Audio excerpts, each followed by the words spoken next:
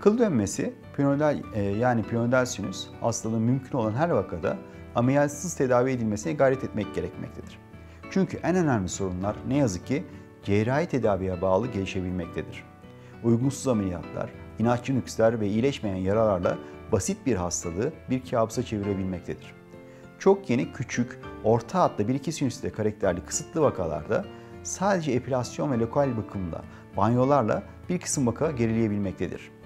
Biraz daha yaygın, derin olduğunda kılların temizlenmesi, pit eksizyonu, sinüslerin lokal anesteziyle çıkarılması ya da kristalize fenol uygulaması düşünülebilir ki bunlar ayaktan, kısa, ağırsız işlemlerdir.